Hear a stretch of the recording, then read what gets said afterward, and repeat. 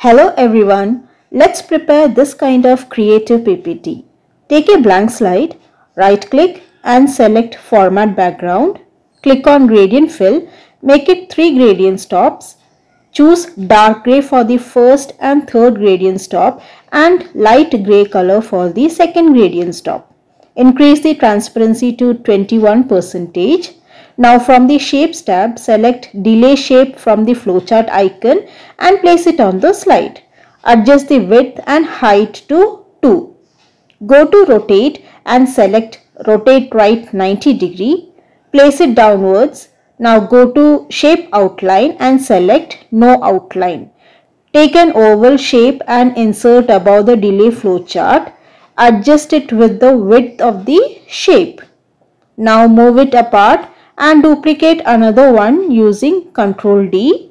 Take a rectangle and place it on the oval shape. Make sure the rectangle will cover only the half portion of the oval shape. Now select both the shapes, go to merge shape and choose union. Go to shape outline and select no outline. Now place and adjust the duplicated oval shape Click on the oval shape, go to shape outline and choose white color. Select the shapes together and press Ctrl G to group it. As of now, give any color to it and place it on the delay shape.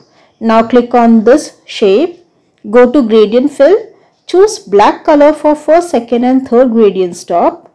For the second gradient stop, increase the transparency to 13 percentage. Go to directions and select linear right. Now select this particular shape and choose tan color or off-white color for the first, second and third gradient stop. Now click on the oval shape, go to color option and select eyedropper and place it on the area where you want the same color as of delay shape and that is black color. Now select the shapes together and press Ctrl G.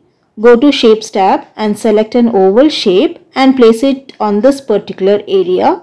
Make sure you will leave little space on both corner sides. Adjust something like this. Now take a rectangle shape and place it on the oval shape touching only the half portion. Select the oval shape, hold Ctrl key and then select the rectangle, go to merge shape and choose union. Then go to shape outline and choose no outline.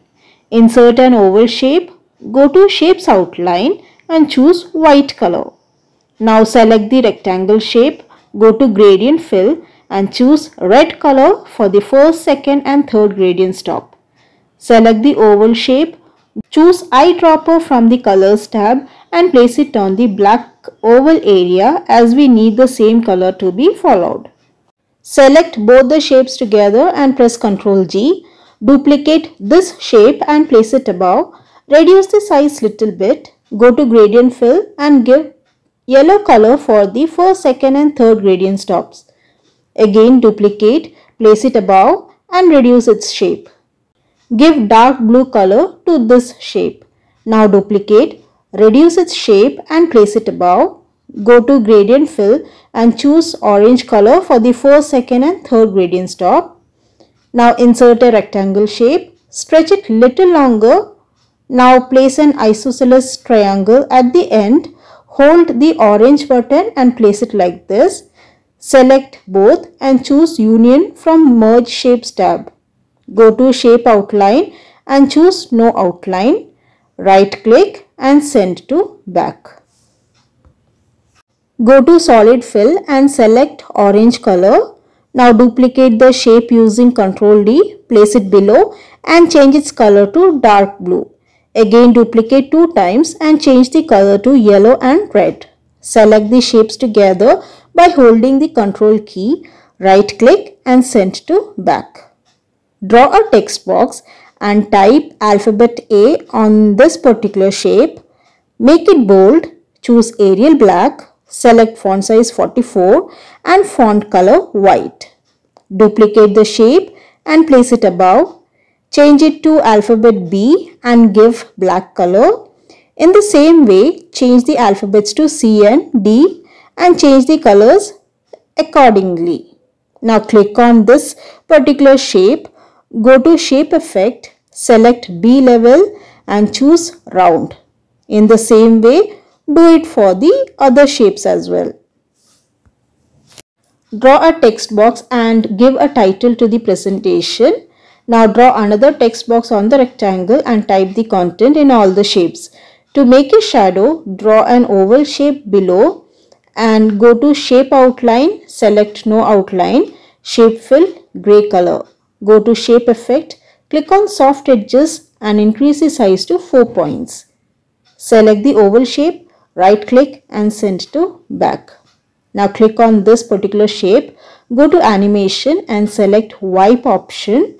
Select the title, choose split animation, go to start and select with previous. Delay, make it 50 seconds.